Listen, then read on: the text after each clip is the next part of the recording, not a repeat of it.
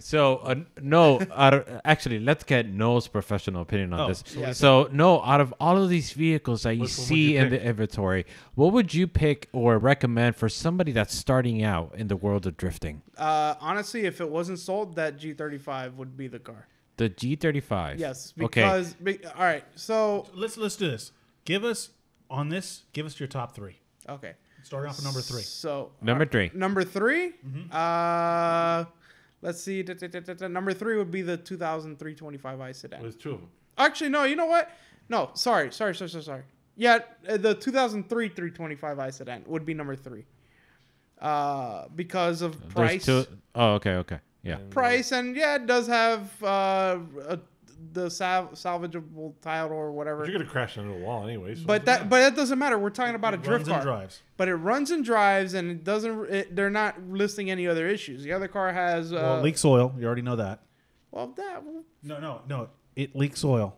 Well, Trust me. Yeah. I guarantee it leaks No, oil. oh no, I, I had, I had, a, BMW, it leaks oil. I, I, I had an E46 for a That's while, like- and yes, that's I- I- assumed, automatically assumed. Okay, so that's number three. that's number three. Number two would be the uh, 528i. Uh, Oh, this Yeah. one over here. Okay. Yeah, that that car is obviously looks now pretty. why? Solid. Because the front suspension on it sucks.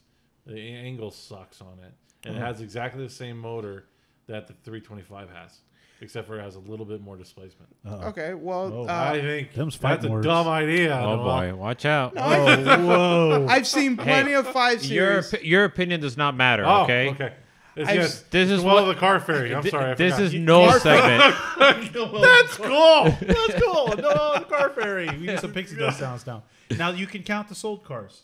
This Yeah, yeah. So okay, so two is the 528. Yes. It. So number one. and I've seen We're and I've ruling seen out the three- we're ruling you out the worked 370s because they're- plenty of too expensive. Yeah. Yeah, those are too expensive. And number one, obviously for many reasons, is the G35 sedan because it number one two Ding, ding, thousand ding, dollars, so it's a great Winner. price. Number two, uh, being that it's you know it's a it's got a CD 009, it's uh, you know manual transmission, it's got a VQ which is pretty reliable as long as you keep them stock, you know, and and with uh, oil.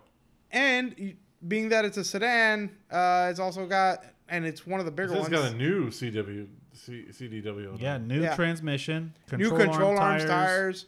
And it's in fantastic. No wonder that mechanical thing's shape. sold. Yeah, for Click two, it? Can you click into it? and Does it and on you top of that, it's got the most Nope. power out of all of them.